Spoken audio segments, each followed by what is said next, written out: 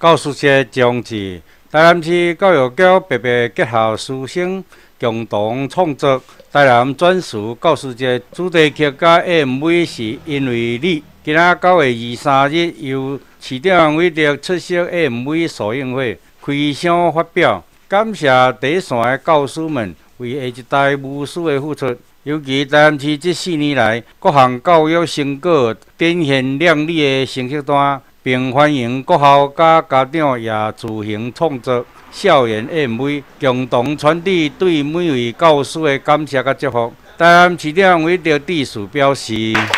再过五分钟我就要去议会了，今天又是煎熬的一天，但是还是不能忘记，啊，教师节就快到了，那我们对于老师。的辛苦，整年的辛苦，我们一点点的煎熬不算什么哈。但是还是希望，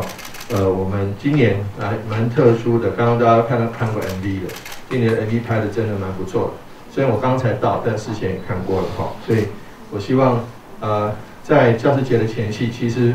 呃，我们今年每年的教师节前夕，像九月二十八号，我们都要春季祭、秋季祭孔，哦，那三四点就要起来，然后接下来还有很多很多的活动。但对于啊老师的敬意的表达，我相信啊这个所有的同学啊所有台南市的市民朋友们都是非常呃这个铭记在心的哈。因此，我想啊在这边要代表可能是一百八十五万市民朋友们来谢谢各位老师所付出的辛苦哈。那像沈沈仁忠议员以前也当过老师哈，那老师结果后来决定要当议员。啊，但是事实上，对于孩子，对于我们同学的一个学习，像感谢老师，也感谢校长，也谢谢我们教育局的同仁跟家长，大家这样四个啊四方面，大家齐心协力，能够让提供孩子我们给孩子最好的一个，给我们同学最好的一个学习环境。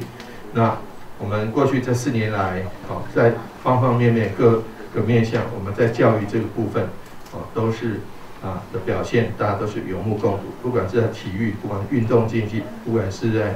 这个科普，不管是在呃城市写作，不管是在机器人，或是学业成绩，或是双语，啊，或者是线上，其实每一个部分都有缴出一个亮丽的成绩单。这些都是谢谢老师的帮忙，好，那也祝福各位台南市的各位老师朋友们，以及所有全国老师朋友们，教师节快乐！谢谢各位。今年 MV 曲目呢，以轻快摇滚的旋律，搭配以苏朵奖教师为主的活动影像加校园的风貌，彰显对教师辛勤耕耘的礼赞。市长、局长也一同入境，透过音乐的影像，对教师献上温馨的感谢和祝福。以上是大北门新闻网报道。